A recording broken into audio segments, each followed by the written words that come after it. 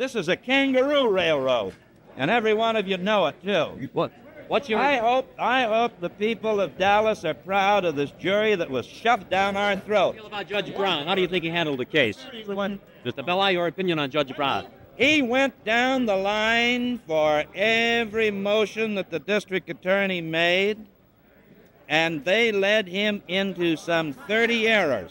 And every Texas jurist knows this thing was the greatest railroading kangaroo court disgrace in the history of American law. They didn't even want recess. Why, in a civilized country in the heart of darkest Africa, you wouldn't argue a man's life starting at 12 o'clock in the morning. When I think we're coming into Holy Week and Good Friday to have a sacrifice like this, I think we're back 2,000 years.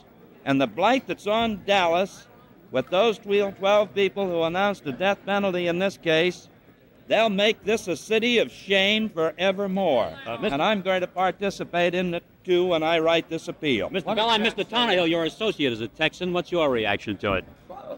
Yeah. It's a violent miscarriage of justice. Anything else to add to that, Mr. Tonahill? I'm about to throw up.